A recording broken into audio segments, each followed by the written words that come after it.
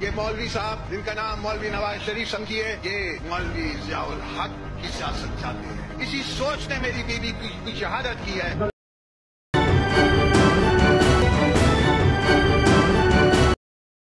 تمہیں اور تمہارے لٹیرے ساتھیوں کو اسی چوک کے اوپر الٹا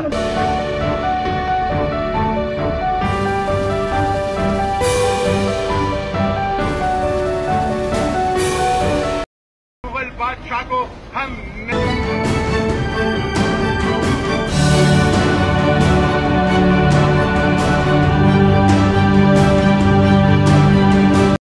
سار کوئی از ناٹ جینیون ان کا کوئی آئیڈیالوجی نہیں ہے وہ یہ چیزیں نہیں کرنا چاہتا ہے وہ صرف اپنے آپ کو بچانا چاہتا ہے۔ نہیں ہے میڈ ان انگلینڈ نہیں ہے یہ تو نہ جانے کہاں سے آئی ہے اور اس کو کس نے لا کے بٹھا دیا ہے؟ آج اور آج پورے پاکستان کی تباہی و بربادی کر رہی ہے یہ عورت۔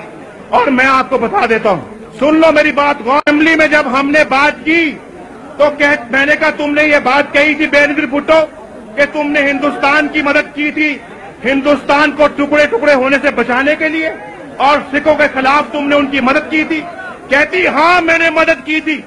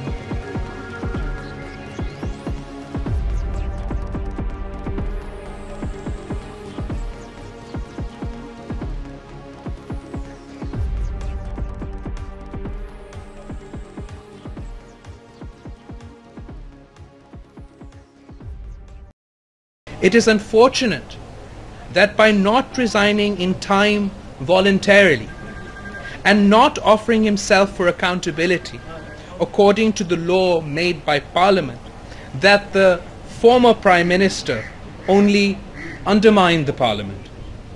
We hope that the verdict will help in deterring corruption in high places.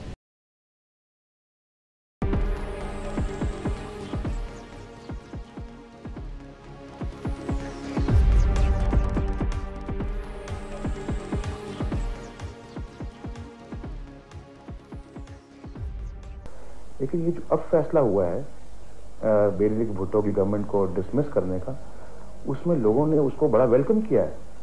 اور پھر میں جب پریزیڈنٹ فاروق لغاری کو جا کے ملا تھا، میں نے ان کو کہا تھا پریزیڈنٹ صاحب، یہ پبلک ڈیمانڈ ہے کہ you now must get off this government تو یہ میری اکیلے کی ڈیمانڈ نہیں تھی، یہ پورے، پوری قوم کی ڈیمانڈ تھی۔ ایک اکاؤنٹیبلٹی الیکشن ہوگا، پر آپ بتا سکتے کہ نائنٹی ڈیز میں کیا اکاؤنٹیبلٹی ہو سکتا ہے؟ اکاؤنٹیبلٹی ہونا چاہیے۔ اکاؤنٹیبلٹی کا کریڈٹ بھی ہمیں جاتا ہے، کیونکہ ہم وہ پارٹی ہیں جس نے نائنٹین نائنٹی فور میں اکاؤنٹیبلٹی کو اپنے نائن پوائنٹ پیکج میں شامل کیا تھا۔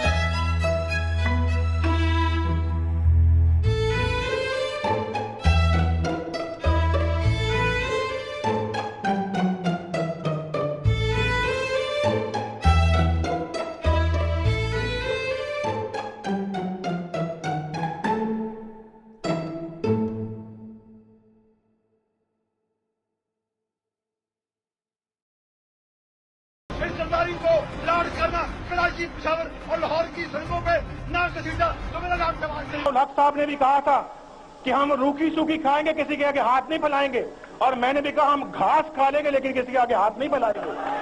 جنہوں نے پاکستان کے ساتھ یہ ظلم کیا، زیادتی کی ہے، ہم ان کو سزا دیں گے۔ جنہوں نے جنہوں نے پاکستان کے آئین کو توڑا ہے، پاکستان کی عدالتوں کو توڑا ہے، پاکستان کی ججوں کو گرفتار کیا ہے، وہ سزا سے نہیں بچ سکتے۔ اگر تو اگر تو ہم سمجھتے کہ پاکستان کو مستقبل میں مستقبل میں ہم نے ہر ماشاء اللہ سے محفوظ کروانا ہے، محفوظ بنانا ہے، تو پھر ایک ڈکٹیٹر کو سزا ملنی چاہیے۔